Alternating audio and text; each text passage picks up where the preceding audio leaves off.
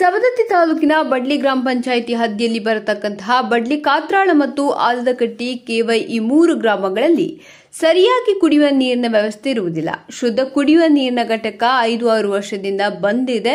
ಜನರು ಶುದ್ಧ ಕುಡಿಯುವ ನೀರಿಗಾಗಿ ಮುನವಳ್ಳಿಗೆ ಹೋಗುವಂತಾಗಿದೆ. ಪಂಚಾಯಿತಿಯಲ್ಲಿ ಸಿಬ್ಬಂದಿ ಸರಿಯಾಗಿ ಕೆಲಸ ಮಾಡುವುದಿಲ್ಲ ಮತ್ತು ಮಳೆ ಪ್ರಾರಂಭವಾಗಿದೆ. ಮಳೆ ನೀರು ಮನೆಗೆ ನುಗ್ಗುತ್ತಿದ್ದು ಯಾವುದೇ ಗಟಾರ ಸರಿಯಾಗಿ ಇಲ್ಲದ ಕಾರಣ ಮಳೆ ನೀರು ಮನೆ ಒಳಗೆ ನುಗ್ಗುತ್ತದೆ. ಗ್ರಾಮ ಪಂಚಾಯತ್ ಪಿಡಿಒ ಅವರಿಗೆ ಕೇಳಿದರೆ ಅವರು ಯಾವುದಕ್ಕೂ ಸ್ಪಂದಿಸುವುದಿಲ್ಲ. ಹಾಗೂ ಹೊಲಗಳಲ್ಲಿ ಹೋಗುವ ರಸ್ತೆ ಸರಿಯಾಗಿರುವುದಿಲ್ಲ. ಬಾಜು ಮುಳ್ಳಿನ ಕಂಟಿ ಬೆಳೆದು ರಸ್ತೆ ಬಂದಾಗಿವೆ. ಪಿಡಿಒ ಅವರಿಗೆ ಹೇಳಿದ್ರೆ ಅವರು ನರೇಗಾ ಯೋಜನೆಯಲ್ಲಿ ಬರತಕ್ಕಂತಹ ಆಳುಗಳನ್ನು ಬರೀ ಅರಣ್ಯದಲ್ಲಿ ಕೆಲಸ ಮಾಡಿಸುತ್ತಿದ್ದಾರೆ.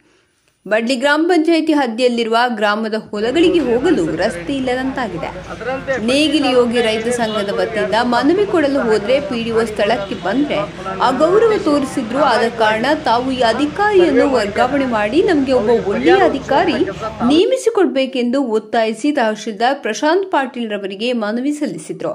ಈ ಸಂದರ್ಭದಲ್ಲಿ ರಾಜ್ಯಾಧ್ಯಕ್ಷ ರುದ್ರಗೌಡ ಪಾಟೀಲ್, ಬೀರಪ್ಪ ದೇಶನೂರ ಶ್ರೀಮತಿ ನಿಲ್ಲವ ಶಿಂತ್ರಿ, ಮಲ್ಲಿಕಾರ್ಜುನ ಕಡೋಳಿ ಕೆಎಸ್ ಕುರಿ, ಸಂಚು ಮಾದರ, ಪ್ರವೀಣ ನಿಲಗಾರ, ಪ್ರಕಾಶ್ ಬಡ್ಲಿ, ಎಲ್ಲ ರೈತ ಮುಖಂಡರು ಉಪಸ್ಥಿತರು ಮನವಿ ಕೊಟ್ಟು ಅದೇ ರೀತಿ ಮತ್ತು ನಮ್ಮ ಪಶು ಕೇಂದ್ರ, ಅಂದ್ರೆ ಏನಾಗೈತಪ್ಪ ಅಂದ್ರೆ ದನ ಕರುಗಳು ಭಾಳ ಸಹಾಯ ನಮ್ಮ ಗ್ರಾಮೀಣ ಪ್ರದೇಶದಾಗ ನಮ್ಮ ರೈತರು. ಯಾಕಂದ್ರೆ ಒಂದು ದನಗಳ ಕಿಮ್ಮತ್ತ ಒಂದು ಎಪ್ಪತ್ತರಿಂದ ಎಂಬತ್ತು ಒಂದು ಲಕ್ಷ ಮಟ್ಟ ಆಗೈತಿ.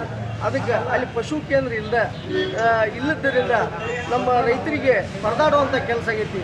ಅದನ್ನೂ ಒಂದು ತಾ ಇದು ಗ್ರಾಮ ಒಳಗೆ ಐದತ್ತು ಕಿಲೋಮೀಟರ್ ಡಿಸ್ಟನ್ಸ್ ಡಿಸ್ಟನ್ಸ್ ಇಟ್ಟು ಮಾಡ್ಬೇಕಂತೇಳಿ ಇವತ್ತು ದಂಡಾಧಿಕಾರಿ ಸವದತ್ತಿ ದಂಡಾಧಿಕಾರಿಗಳು ಮನವಿ ಕೊಡಲಾಯಿತು.